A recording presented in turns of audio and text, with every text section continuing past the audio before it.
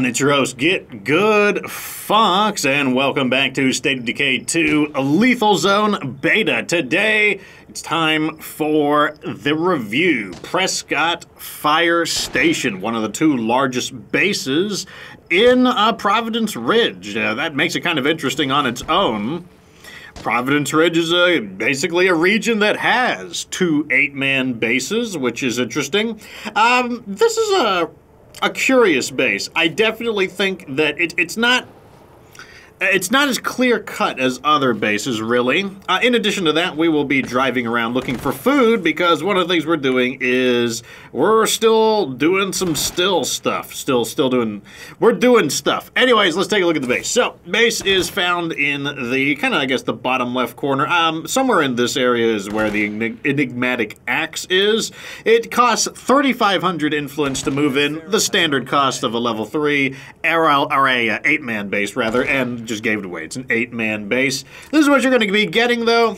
Uh, let me get my mouse out. You're going to be looking at, we got two large facilities that are available for your customization and three small facilities. Two of them are outdoor. I'm absolutely taking advantage of that by constructing two stills, which um, stills can only be built in the outdoors. Not sure why, but that's just the way it works. And then you get one indoor for a total of two small, two large outside, and three, two large and three small. And um, that would not be very good on its own. However, you get quite the barrage of permanent built-ins. Remember, you can identify a permanent built-in, as in you can never take it down by its a teal border and the ones that can be removed will have a brown border. So let's go through what you get. So we've got ourselves right here a storage. It's normal every day. Also, if you're wondering why am I going over this again, I assume that there will be people who only want to see the full review rather than like the, you know, both. So uh, this has been upgraded. It's just a normal storage room. Over here, we got ourselves the normal everyday command center. Not, not a lot going on there. But what we do have is first up a scout like a tower. This is basically a watchtower. You know, it's a little bit better than normal. You could put three guards. Uh, you'll note that there is no ammo cost. And there is no... Am I about to get attacked? I want to be right in front of the spikes real quick. Okay. Let me crouch as well. So, uh, you're going to notice that there is there are no upkeep costs. And that's just one of the effects of it being built in, no material cost, etc. Yeah, now, this is an interesting facility right here. So what we've got here is the Emergency Services Training uh, Level 2. It, it starts at Level 1 and you can upgrade it. It is basically a enhanced version of a Level 2 gym. Uh, in addition to providing the normal stuff that a gym would have, including 20 health, EXP, 25% EXP to cardio and fighting, uh, you do get this. You do have to upgrade it to get the EMT supplies. This means your injuries heal a little bit quicker. It does stack as well with the uh, infirmary. So if you've got an infirmary, that lets you heal from injuries, and this is going to go take you a little bit farther. Uh, how important is that? I, I don't know. It's, I mean, I'm not going to turn. I'm not going to turn it down, but I, I don't think that's like a mind-blowing improvement. Another thing it lets you do is you can learn medicine. You have to have the active character, and you got to be at home. It says right here, must be at the base to use it. Uh, it costs three medicine and 200 influence. Might be cheaper to use on lower difficulties. Not sure, but it's a way to learn medicine. Me, medicine. Medicine. That is pretty relevant uh, if you don't have a medicine character, mainly because both of the medicine skills are really good on Lethal Zone. Uh, surgery really helps you with health and injuries, which is a problem. You can just die on Lethal Zone. And then pathology helps you on uh, plague resistance and making cures more efficiently. So it's actually worth it to have both two medicine characters, one in pathology, one on. Um, uh, surgery. Yeah, Over work. here, we've got the kitchen. Pretty sure this is uh, almost a norm. There's one big difference. Oh, also note the lack of uh, daily maintenance requirements. A level 2 gym would require one building material per day, not in this case though. Also, that is really good because most bases should have a gym. A gym is a great facility to have, so awesome. Scout Tower, Emergency services, pretty good. Firehouse kitchen, it's basically a level two kitchen without any uh, construction upkeep, so no minus one materials per day. But it also gets commercial fridges, so 10 extra food storage. You know, it's a kitchen, so I say Over here we got firefighter bunks. You get uh, four beds. Uh, the only reason we're getting three morale is because of the comfy chair. Obviously, a white noise machine would be better, but I don't have them. Uh, four beds. Don't really think much of it. Over here, we've got a station bathroom. This is equivalent to a level 2 latrine, so you get a passive 10 morale for normal flushing toilets. And then over here, you've got um, clean the toilets for the temporary bonus. You know, you're going to need to have um, plumbing to really awaken this. Um, a latrine early in the game is okay, and a plumber does have some okay stat boosts when you max it out, but it's like it's better than these. I'll put it that way. It's like it's like uh, it's not lighting me on fire, but um, this is, however. The Firehouse Workshop, this is like a level three and one quarters workshop because it has basically everything a workshop would have, uh, but you also get industrial grade spares. Minus 15% to your parts uh, repair cost. Saves you a little bit of parts. It's like, you know, I'm not going to turn it down. I would say it's pretty comparable to Daybreak uh, Workshop because in the Daybreak Workshop, it would repair your uh, weapons over time. So both of them kind of save you parts over time. But you know, like you would always want a workshop. So, I mean, it means that you don't have to spend a bajillion parts or go to Daybreak to have a level 3 workshop. So, hey, I'll take it. Now, this is a feature. Here's the utility room. This is a unique. Uh, this is a unique variation of the level three generator, and it's unique because it it is a level three generator, which is where you get this provide power. One fuel for one fuel per day, you get constant power. It's the best version of it technically because the other versions of the generator you got to spend like two fuel. So this one gives you just power you know, like permanent power as long as you've got one fuel. But in addition to that, it also has look at this collect water. So it, in one facility, it has it has basically the water well and the generator crammed together and to power two facilities in one and it doesn't cost anything to have the water and then you do get a little bit of like you know bonus morale here you know you get uh what what is it um electric light you know five morale staying hydrated so six morale altogether it does suck if you are on amenities if you have the builder's boon because you're gonna lose one fuel for nothing, basically.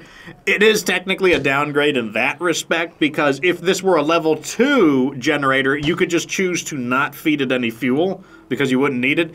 But in this case, yeah, it's just losing us fuel. We're basically, a way you could think of it is we are trading one fuel per day for six morale. You also get this white noise generator, which reduces our zombie threat. I, I just don't care about zombie threat. It's really, it's not important. It's not even worth activating because we have to spend 37 parts for it. So yeah, why, why even do it? Anyways, that is... Okay. Anyways, what did I choose to build yeah, in this base? I chose to build an infirmary because uh, this will not... This helps you regenerate. It's very slow, though. I don't. I don't. You, you don't want to rely on it. it. It's more like it is a bonus on. Uh, let me use this to get his attention real quick. Come here. Come here. You want to come here? Here we go. Oh, what's he doing? That's weird. Stop doing that. Why is this happening? They're not supposed to do any of this. This is not, you're interrupting my review. Don't you understand that I got this important review to do? Which part of me reviewing the base do you not understand? Anyways, what I was saying was, the, uh, the facilities I chose, you know, I'm gonna have an infirmary. You gotta have an infirmary because, okay, let's say that the EMT thing was capable of healing you, you wouldn't be able to cure um, blood plague. So you still need, an, it is not a replacement for an infirmary. Like, I must, I have to stress that. It's not a replacement for the infirmary.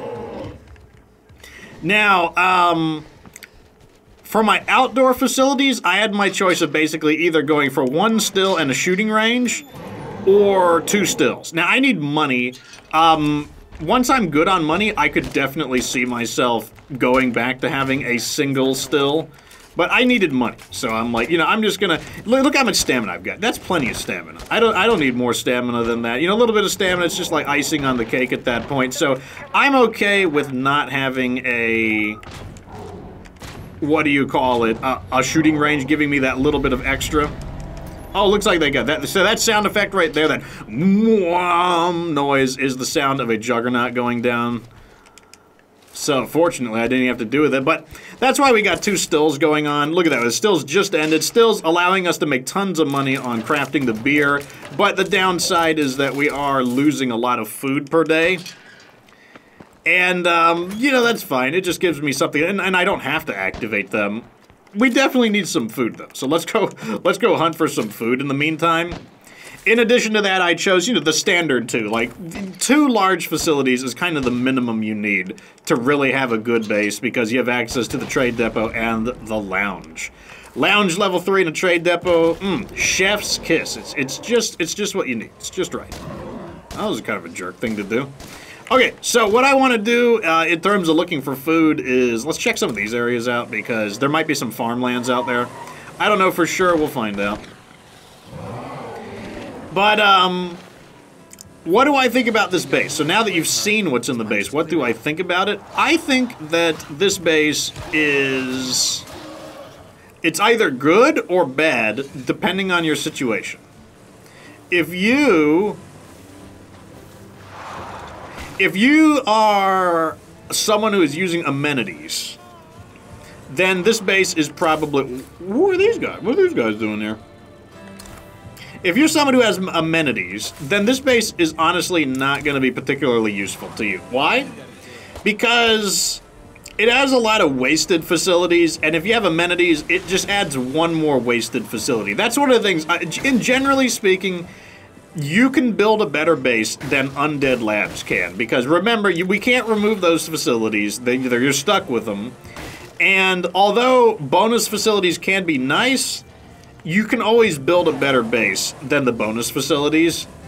And basically, for a base that requires 3,500 influence, we're really not getting anything different than what the way. You know, compare what I built here to the Weston Builder Supply. Weston Builder Supply, basically the same. So it's just it just doesn't light me on fire from that perspective. Now, if you don't have amenities, if you are playing, uh, maybe you're farming your boons, and you don't have access to amenities, then this base is awesome because for one fuel per day, you're going to get water and power. That's great.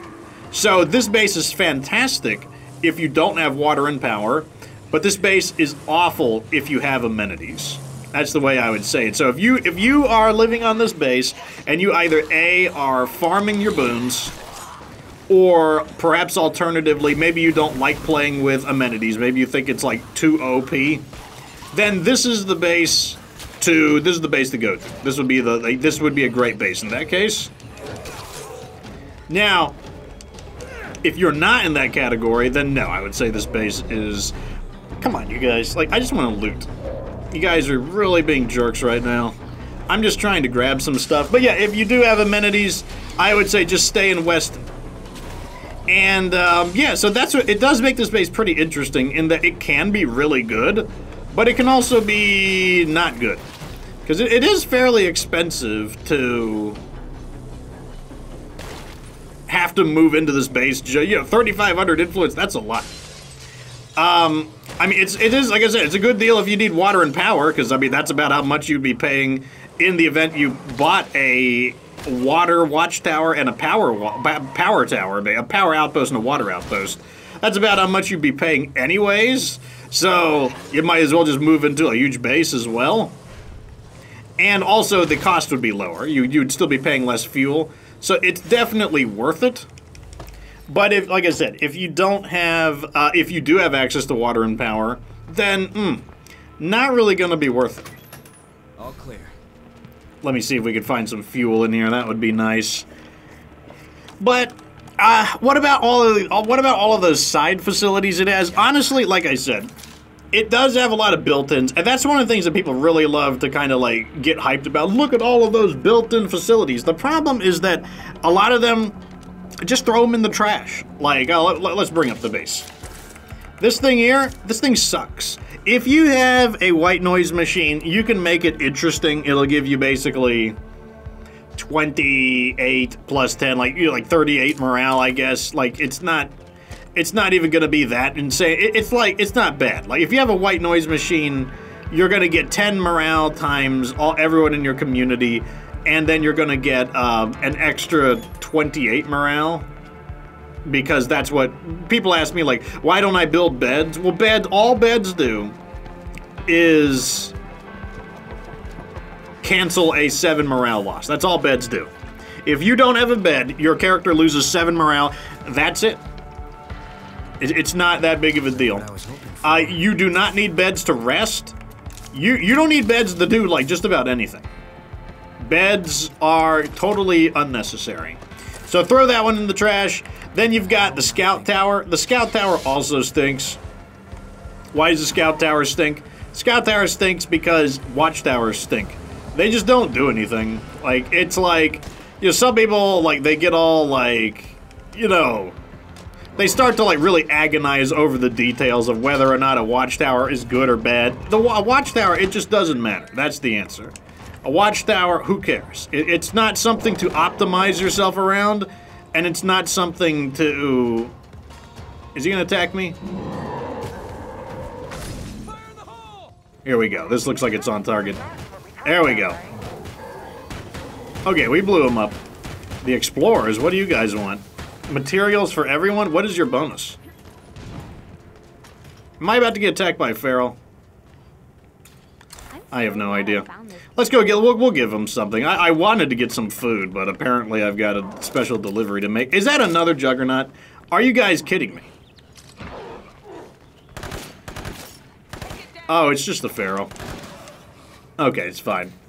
But you could just throw away the watchtower. Watchtowers, they don't do anything for you.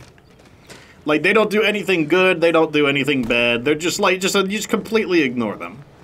Another facility that's a waste is the kitchen. The kitchen has like some side benefits, such as being able to make energy, uh, energy, energy drinks. The thing about energy drinks is they are a fairly high investment strategy, mainly because you need a lot of stuff to make them work. On the way over, okay? Let me let me locate where these infestations are, so in, in case they're right nearby, I'll just squish them real quick. The thing is, like, yeah, you need to have chemistry and you need to have cooking, and to be a little more specific, you have to pick. Um, where is it? Right over here. Let's squish that first. Nah, let's deliver the materials before they get mad about me. Like, oh my god, you are not giving me anything that I ever asked for. So, you have to pick nutrition. Nutrition is definitely the weaker of the two cooking skills. And that's because cuisine is really awesome because cuisine helps you with your economy. And your economy is super important in lethal zone. And with nutrition, it allows you to build energy drinks. Energy drinks could be useful if if you have basically if you're at a, if you're at a level of skill where you use a lot of stamina items because like maybe you haven't like mastered your running tactics so that you can play without excessive use of um, stamina items then maybe it could still have value but like when you start destroying those plague guards you are going to be getting a lot of energy drinks you're going to be getting a lot of uh, stimulants so your stamina issues should be resolved by that. It's, of course, like I said, if you're at if you have not mastered your tactics for running away, because like you can still run away when you're out of stamina. Like don't don't think you can't. If you're getting attacked by a feral when you're out of stamina and you just need just burn them. Uh, even if you're not using a pyro launcher, just break a um, break a, a, a Molotov on him, and while he's burning, he will have to roll around on the ground to put himself out of fire, and that's going to give you time to move away from him. So, that's those are some of the things that you could do to avoid using so. Also, remember that even if you're out of stamina, if you intentionally set yourself on fire, uh, not only will you burn everyone who's chasing you because they're going to move through the fire as well, but then you can perform combat rolls. You can perform combat rolls while you're on fire, which is once again another high mobility tactic you can use. But otherwise, the other problem is some people are really into rationing. I don't think rationing is very good because on Lethal Zone, the way you can look at it is that rationing gives you one food per person in your community. So to really ration a significant amount of food, you're going to have to have a very large community. Because let's say you have three people in the beginning of the game. Well, if you enact rationing, you're going to save three food.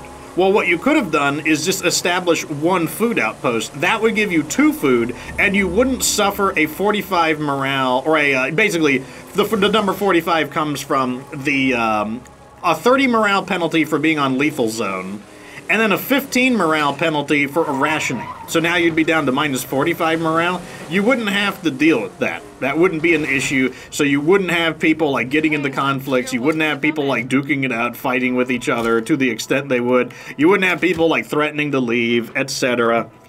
Because you wouldn't be down 45 morale and you would be saving three food. Now, as you increase in numbers, sure, the rationing will save more food. The problem is that when you get to the point where you have nine people, you're probably in, once again in a position where you've developed yourself. Let's see what our bonus See is. you around.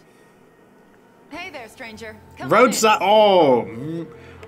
Ah, roadside assistance. Let's use it right now, actually. Supply drops. Roadside assistance. You got it. Why? Why so far away? Maybe it's just to demonstrate how good roadside assistance is. Roadside assistance is one of the best. Ooh, let's sell while we're here too. One of the best little supply drops you can get. I think we can help each other out. Ooh, 102 for the sanitary pads. I'll take it. Got anything for sale? Medicine. Eh, I'll take Still medicine. on your feet. I'll take medicine. useful you're looking to unload? But yeah, basically, by time rationing is becoming effective, like once you get to kind of eight people, because now you're saving eight food with rationing, and with eight food, now you're kind you're comparable to like um, a decently optimized hydroponics or a garden. The thing though is like by time you are able to get to eight people, you, on especially on lethal zone, you've built up your base a good bit, and you could establish four food outposts. Don't even level them up. Just leave them at level one. It's two food each. And so two food each would also cancel, basically be equal to eight food. So why inflict the morale penalty on yourself? Because 15 morale is absolutely 15 morale is can be the deciding factor between being in uh, tier four, the final tier morale, and one tier below. And you want to be in the maximum tier because everything is better. You exp faster. Uh, you build, you do actions faster, you do everything faster. In oh, and by the way, look at that. We just got two fuel and two uh, repair kits from for only 150 influence. Like that's what makes it so good. And I can call that in again. In well, you know, the cooldown is pretty severe. Like every like 90 minutes, basically, we have a little bit of cooldown, but it adds up. And if you have a way to reduce your cooldowns, you can do it way more frequently. The main point is on lethal zone. You use up so much fuel. Give me another way to get two fuel and two repair kits. I'll absolutely take it. For only 150 influence, that is a steal. Let's put these in here. And let's go ahead and search for that infestation. Might as well choke it out. You know, nip it in the bud, strangle it in its infancy, and so you know wh- whatever, whatever suitably macabre metaphor we have for it. But that's why rationing. It's not good. I don't recommend it, and I don't recommend optimizing around it.